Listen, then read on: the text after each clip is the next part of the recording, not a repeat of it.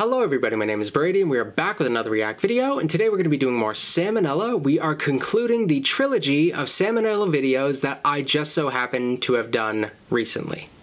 I've just been in kind of a Sam O'Nella mood. Don't worry if you're not interested in the Sam O'Nella stuff, what is wrong with you? But also I'm going to be doing something different tomorrow. I'm going to put them on the shelf for a little bit and we'll return to them at a later point.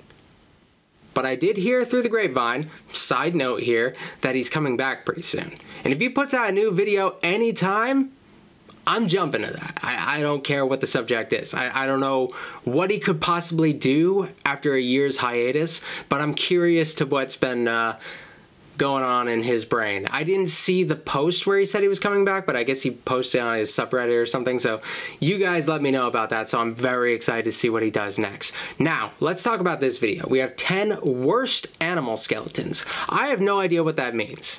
I don't know how you measure a best or worst animal skeleton. I don't know if he means from like a practical standpoint or just appearance, but I guess we're gonna find out. I'm very excited to see what angle he takes with this.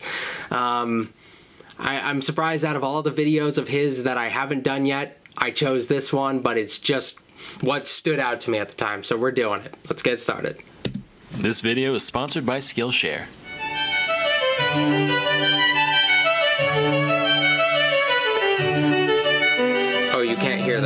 Hey kids, oh, as we all know, the evolution of species is an incredible process, driven by little more than the random chance that certain mutations may happen to provide a practical advantage in a creature's environment. And as a result, there's a lot of things out there that look super dumb once you strip back a few layers. Here's the top 10 worst animal skeletons of all time. So first...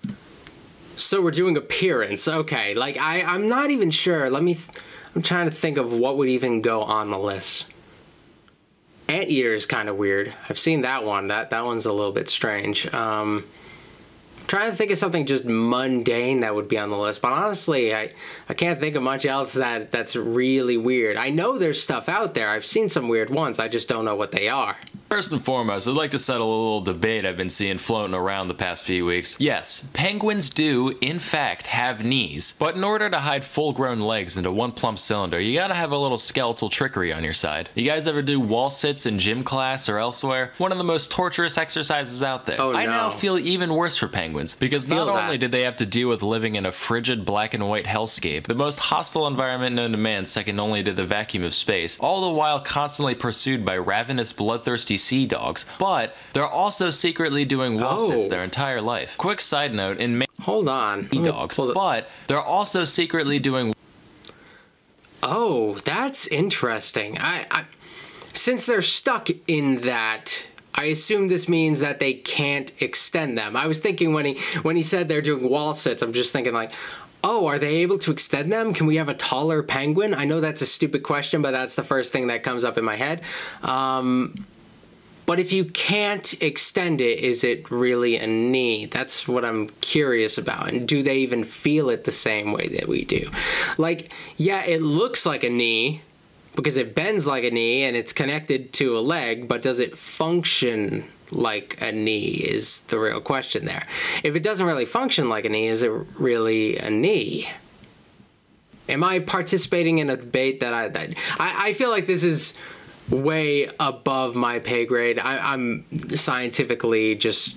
Mm, uh, wall sits their entire life. Quick side note, in Mandarin, the word for penguin consists of the characters for business goose, which is fucking hilarious. Like one day a That's goose put cool. on a suit and said, today it is time to make a name for myself, honk. This next guy is known as Parsons chameleon, found in the more remote regions of Madagascar. Notice the fleshy protuberances around its nose area. Turns out, not fleshy, not even remotely fleshy, not even one flesh. Instead, it just has a skull for Oh, that, yeah, that doesn't look good. Um, I would say everything about it looks awesome. It looks like it could be a dinosaur, except this one part. That really, it's like, uh, it's like a bad, like, series of pimples on the nose of a very, very epic looking creature. Forever frozen in time in the middle of exploding. Like it sneezed right in the middle of God, shaping it out of clay, and he was just oh, like, man. ah, whatever, it's a feature now. So for that, this rough-headed reptilian gets number 9. Normally Ooh. I would have ranked it higher, but that's a dope tale, so he... Yeah, this is when you give it the whole skeleton, it actually looks really awesome. Like that's like the small detail. But yeah, overall, I, there's probably a lot of like lizard type creatures that look a little bit cooler than this. Um, but that is an awesome tail. You get some pity points. Next is the puffer fish. So for most of my life, I've pictured puffer fish as just not having any bones. I know it doesn't really make sense, but neither does them turning into a balloon like a goddamn cartoon. Turns out, in their normal state, they actually look like this. And when they inflate, those concentric rings of Oh. spine slide outwards past one another to cover the full area, like the aperture of a camera lens expanding to cover the full frame of the fish. The sheer ingenuity of this design has shattered my childhood dream of real life balloon animals, which has earned the pufferfish the number 8 spot on this list. Hold on, no, that's not fair. That's really cool. Most skeletons don't do cool stuff like that. They just kind of move like they they, they yeah, they, they don't do all that much. That is a very intricate skeleton. Like that that's actually incredibly cool. That I, I thought it was just like some sort of a gland that expanded and maybe it is. It, it probably is some sort of. But the fact that the bone structure works with it, that's that would probably put it on like a top list for me. This is like this is a fun fact that I'm going to take to parties that I don't get invited to. List. Now, if you've gotten around to certain zoological circles, you've been shown this skull and been told, ah, yes, Oh, that God. comes from the dwarf elephant. Oh, you've never seen one? I know That's this. because uh, they're extinct. And that thing in the middle? Ah, yes, nothing more than the nose hole to which the trunk connects. However, if you're a rational, free-thinking adult like me, you can look past the lies spoon-fed to you by Nat Geo and other liberal media outlets and see this for what it is. A cyclops. Next What he's doing there is actually really smart because that Cyclops misconception is a real thing that I heard about. There's a lot of things like this. I've seen people find bones and they're they're not able to explain what it is, so they look back to old myths and they'll be like, "This is the femur of a giant.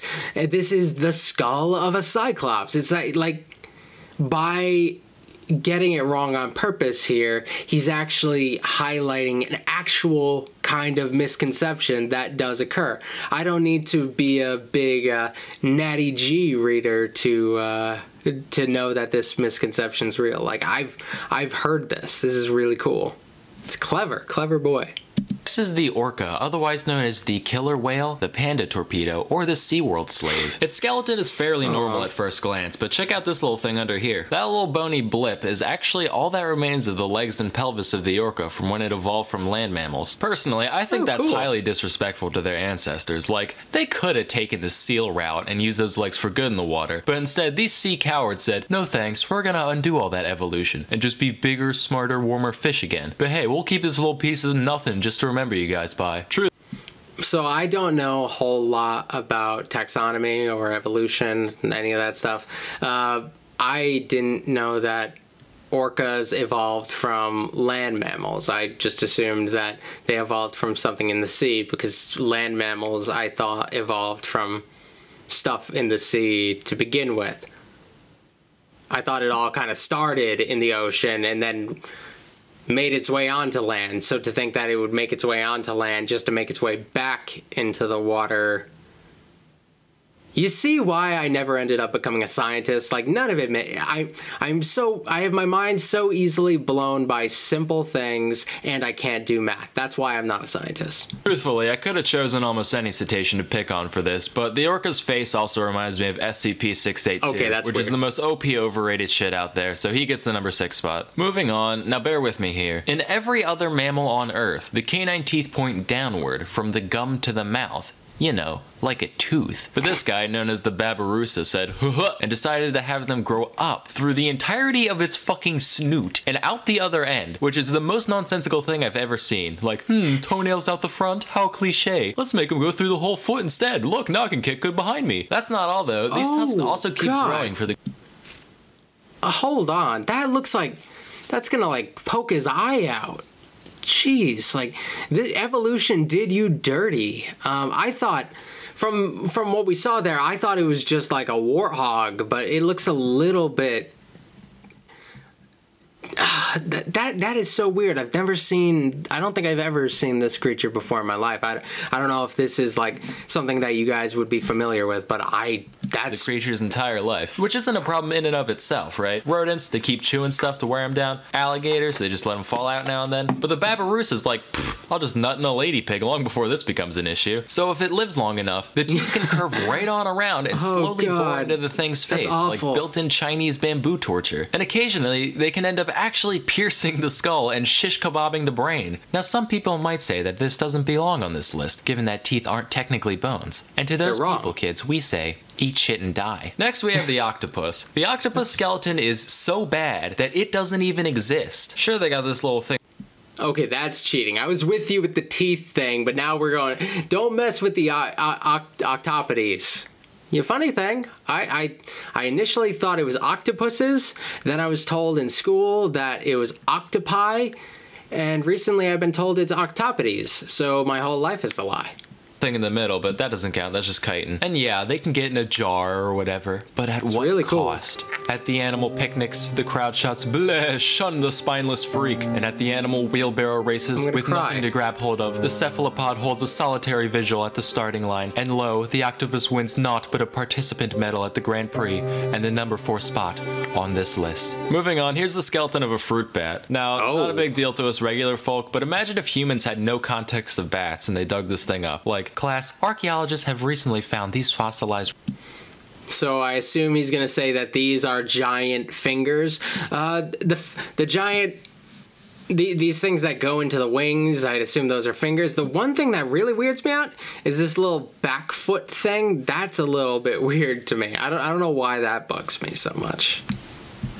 Remains. And using modern technology, we can see exactly what it would have looked like back when it was alive. This abominable Oh, creature is known God. only to scientists as Finger Boy, and is theorized to have fed upon fruit, insects, and the dreams of orphans, which it would siphon out from the ears of the errant little waifs whilst they slumbered. By the way, if you Google image bat skeleton, like more than half of them have the ears built in, just like, hmm, I feel the That's extraordinarily bat-like wings and figure of our decoration are much too subtle for our consumers. Better slap these on. At number two, we have the anteater. From its oboe I said anteater. That I'm, I'm actually happy that I got this one on this list because like that's a skeleton that I've seen and it's weird, but not because it's a weird skeleton, but well, it is a weird skeleton, but like it's not like one of those cases where you look at the creature and the skeleton's weird. The the creature's already weird and the skeleton is about the same.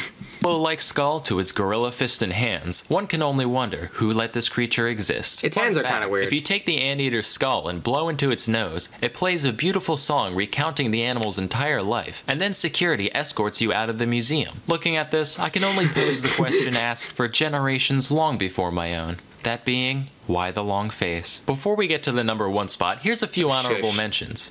The wolf eel. The ostrich.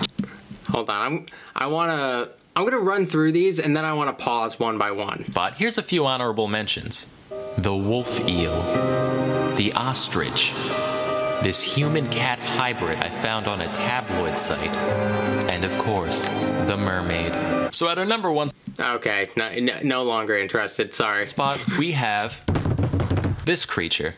That's uh, that's supposed to be a mirror. I know most of you can't see yourself in it on account of your filthy Dorito smeared screen, so just take my word for it. So what's wrong with humans, you ask? Well, a lot of things, but for now, let's stick with the skeleton. First off, these bones right here, these are known as the metatarsals, all part of the foot, right? No, Tarsal that's a bunch of primate propaganda. And most other groups of land mammals, Oh, what that's we on consider our ankles is actually the quote-unquote knee of the animal. Thanks a lot, walking upright. Also, it's estimated that around 80% of people will experience chronic back pain at some point in their life. Thanks a I feel that right walking now. Upright. Lastly, probably something you've heard about at some point, our skull to pelvis ratio. For most animals, giving birth, not a big deal. Small heads, wide hips, mazel tov. But check out the big brain on Brett. Throws a real monkey wrench in the works there. For a while, it led to some problems till those extra brains figured out how to work around it. So I guess you win this round, humans. That is actually a very interesting point. I, I don't know what it's like. Like maybe if you live on a farm or something, you're used to like seeing animals give birth or something. But like I'm not familiar with it. I haven't heard a lot about uh, high mortality rates in animals or whatever. I, I would assume today, like we have similar uh, stuff that can uh, prevent that as we have like that to prevent it when we give birth or whatever. But uh, even when I read about read history or whatever, I don't hear about like a lot of animals dying in childbirth. But maybe that's just not a very interesting thing to write about. but that doesn't stop you from also winning the number one spot on the worst skeletons of all time. But hey, just because you'll forever be flawed on the inside doesn't mean you can't improve yourself on the outside. That's why you need to try Skillshare. Skillshare is an online Still learning haven't tried it, but I should. 25,000 classes in design, business, technology, and more. Premium membership gives you unlimited access to high-quality classes on must-know topics, so you can improve your skills, unlock new opportunities, and do the work you love. For all my life, I thought I knew how to make a grilled cheese. Then I saw this class, and I realized Ooh. I didn't. Now I do again. But those few minutes between seeing the thumbnail and finishing the course were a dark time in my life. But let's say you don't like grilled cheese. Well, you must be either vegan or dead, and either way, you probably smell terrible. What better way to soak up that earthy must in your home than with a hand-selected houseplant known to improve air quality? You can even put googly eyes on it. Aw, huh. it's like I have a friend. Join the more than 7 million people already learning on Skillshare today with a special offer just for my viewers. Everyone who visits the link in the description can get two months of unlimited access to the 25,000 plus classes classes on Skillshare for absolutely free. So please, I'm gonna need a new broth and start promo code Sam when you come out anyway, with a new video. today. Till next time, I'm Sam O'Nella, and I'm still scared of swine flu. Sick. Uh, oh, swine flu. Jeez, when, when was this video out? I mean, it was. I what I do know, it was over a year. He says still, so I assume uh, it was it was kind of old at the time. Oh well. Uh, so that was weird. Um, that was a strange video. Um, with me going through a lot of history stuff from him, uh, what's left over is like a very strange selection. I know there are still some history related ones that I've kind of uh, overlooked, and I will get around to soon. I, I've kind of been down with checking out new stuff outside of what I typically would. Like, it's not like I'm going to turn around and start checking out like the most popular viral clip on the internet or anything, but I'm down with anything that's even like remotely educational. And this despite the silliness, was kind of educational. It taught me a thing about pufferfish. I'm going to use that at some point. I don't know what else I learned, but yeah. So thank you guys for watching. Let me know what Sam O'Nella video you want me to check out next. We're going to take a little break from him. We're going to check out some different stuff uh, for tomorrow. So let me know what else you want me to check out on the channel. Non-Sam O'Nella stuff too. Uh, all right. Thanks for watching, and I will see you guys tomorrow. All right. Bye.